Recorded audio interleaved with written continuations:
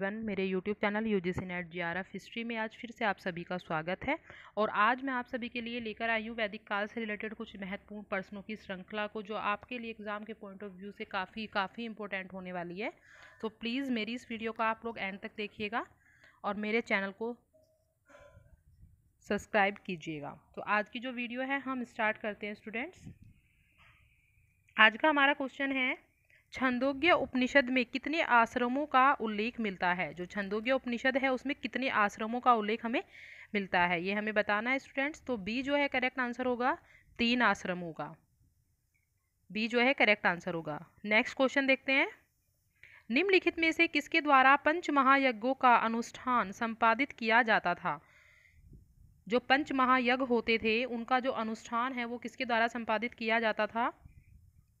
B जो है correct answer होगा स्टूडेंट्स गृहस्थ आर्यों द्वारा। जो गृहस्थ आर्य थे, उनके द्वारा पंच महायज्ञों का जो अनुष्ठान है, वो संपादित किया जाता था। नेक्स्ट क्वेश्चन देख लेते हैं।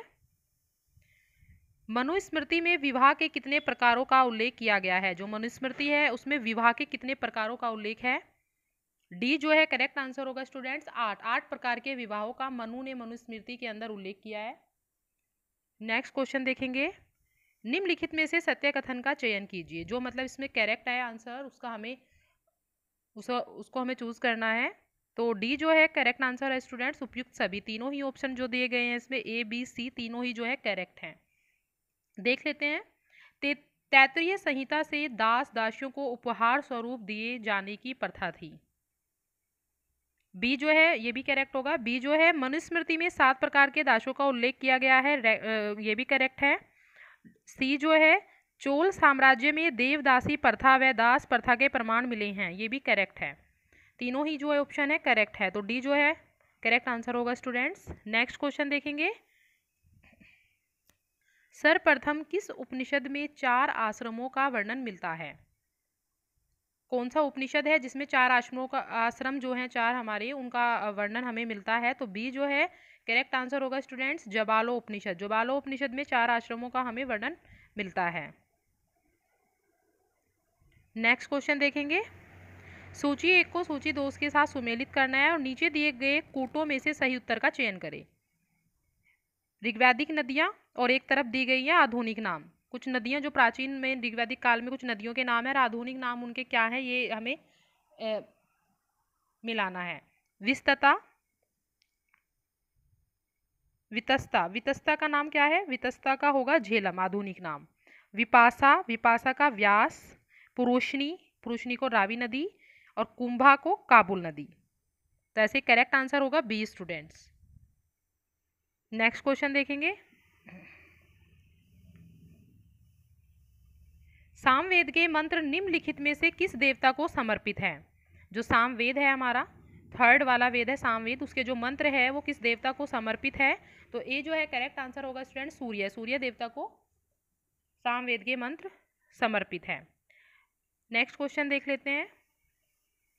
सूची एक को सूची दो के साथ सुमेलित करना है और नीचे दिए गए कूटों में से सही उत्तर का चयन करें। एक तरफ़ उपवेद है और एक तरफ़ उसके प्रवर्तक हैं।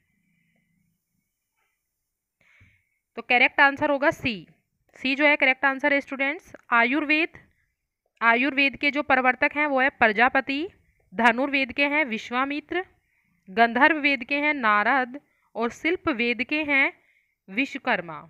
तो सी जो है करेक्ट आंसर होगा. नेक्स्ट क्वेश्चन देखेंगे. ऋग्वैदिक काल में समाज का विभेदीकरण किस आधार पर आरंभ हुआ था? जो ऋग्वैदिक काल है, उसमें समाज का विभेदीकरण किस आधार पर किया गया था? तो सी जो है करेक्ट आंसर होगा व्यवसाय के आधार पर। व्यवसाय के आधार पर ऋग्वैदिक काल में समाज को वर्गीकृत किया गया। नेक्स्ट क्वेश्चन देखेंगे। निम्नलिखित में से सत्य कथन का चयन कीजिए। इसमें से जो सही है, जो करेक्ट है, उसका हमें चयन करना है। तो डी जो है करेक्ट आंसर होगा स्टूडेंट्स उपयुक्त सभी, इसमें जो तीनों ऑप्शन दिए गए हैं, वो तीनों ही सही हैं. देख लेते हैं. ऋग्वैदिक काल में पृथ्वी जगत की माता थी. करेक्ट बात है. अदिति देवों की महान माता, देवों की जननी तथा सृष्टि का मूल आधार मानी जाती थी. ये भी सही है. सिंधु नदी, देवी नदी थी, ये भी सही है. तो सारे ही ऑप्शन जो है करेक्ट हैं. नेक्स्ट क्वेश्चन देखेंगे. सूची एक को सूची दो के साथ सुमेलित करना है और नीचे दिए गए कूटों में से सही उत्तर का चयन करना है। आधुनिक नाम दिए गए हैं और प्राचीन समय में उनको क्या कहते थे? किस नाम से पुकारते थे? वो दिए गए। जैसे एक तरफ़ गाय गाय को अघन्य कहा जाता था। ना मारने योग्य। अघन्य का मतलब होता है ना मारने योग्य। राजा को गोप्ता, धनी व्यक्ति गोमत, पुत्री पुत्री को दुहिता। पुत्री को प्राचीन टाइम में दुहिता कहते थे। तो ए जो है करेक्ट आंसर होगा स्टूडेंट्स नेक्स्ट क्वेश्चन देख लेते हैं। ऋग्वेद के एक मंत्र में त्रियंबकम शब्द का प्रयोग निम्नलिखित में से किस देवता के लिए किया गया है? ये जो है करेक्ट आंसर होगा स्टूडेंट शिव। शिव के लिए त्रियंबकम शब्द का प्रयोग किया गया है ऋग्वेद के एक मंत्र में। नेक्स्ट क्वेश्चन देखेंगे। ऋग्वेद देव, ऋग्वैदिक देवता इंद्र से संबंधित। सत्य कथन का चयन कीजिए। जो ऋग्वैदिक देवता थे, इंद्र उससे संबंधित, जो कौन सा कथन इसमें सही है? डी जो है करेक्ट आंसर होगा स्टूडेंट्स उपयुक्त सभी तीनों ही कथन इसमें सही दिए गए हैं। ऋग्वेद में सबसे महत्वपूर्ण देवता थे इंद्र। ये भी राइट है। ऋग्वेद में इंद्र पर 250 सूक्त हैं, ये भी राइट है। इंद्र को वर्षा का देवता माना गया है, ये भी राइट है। तो तीनों ही जो है करेक्ट आंसर है। तीनों ही जो है ऑप्शन करेक्ट है तो डी जो है करेक्ट आंसर होगा स्टूडेंट्स नेक्स्ट क्वेश्चन देखेंगे। सूची एक से सूची दो के साथ सुमेलित करना है और नीचे दिए गए कूटों में से सही उत्तर का चयन करना है। एक तरफ़ विद्वानों के मत दिए गए हैं और जो दूसरी सूची है उसमें आर्यों का निवास स्थल क्या था? कि किस विद्वान ने आर्यों का निवास स्थल क्या माना है? ये हमें देखना है। इसका जो करेक्ट आंसर होगा स्टूडेंट्स वो होगा सी देख लेते हैं कैसे। बाल गंगाधर तिलक ने कहा है कि आर्य जो है आर्क, आर्कटिक प्रदेश से आए थे और स्वामी दयानंद सरस्वती ने माना है तिब्बत से, विलियम जोन्स ने यूरोप से और मैक्स मूलन मैक्स मूलर जो है वो क्या कहते हैं कि मध्य एशिया के निवासी थे। तो सी जो है करेक्ट आंसर होगा। नेक्स्ट क्वेश्चन देखेंगे। निम्नलिखित में से ऋग्वेद के किस मंडल को सोम मंडल कहा गया है? ऋग्वेद का कौन सा मंडल है? जिसको सोम मंडल कहा गया है तो बी जो है करेक्ट आंसर होगा स्टूडेंट्स नोवा मंडल। जो नोवा मंडल है, ऋग्वेद का, उसे सोम मंडल कहा गया है। नेक्स्ट क्वेश्चन देखेंगे। अस्तो मा सदगम्य वाक्य निम्नलिखित में से किस वेद से लिया गया? कौन सा वेद है जिससे ये वाक्य जो है लिया गया है? तो ए जो है करेक्ट आंसर होगा स्टूडेंट्स ऋग्वेद। ऋग्वेद से ये वाक्य लिया गया है। नेक्स्ट क्वेश्चन देखेंगे। सूची एक से सूची दो के साथ सुमेलित करना है और नीचे दिए गए कोटों में से सही उत्तर का चयन करना है। एक तरफ़ उपनिषद दिए गए हैं और एक तरफ़ वेद हैं।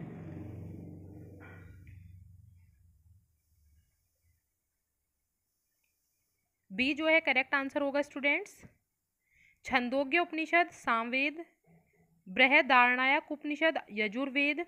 ऐत्रीय, ऋग्वेद और मांडुक्य अथर्वेद बी जो है करेक्ट आंसर है। नेक्स्ट क्वेश्चन देखेंगे। सामवेद के अध्येता को निम्नलिखित में से क्या कहा जाता था? जो सामवेद का ऋषि होता था, उसको क्या कहते थे? तो बी जो है करेक्ट आंसर होगा, उद्गाता। उद्गाता जो है, सामवेद के अध्येता को कहा जाता था। और ऋग्वेद का जो ऋषि होता था, उसको कहते थे होर्थ नेक्स्ट क्वेश्चन देखेंगे।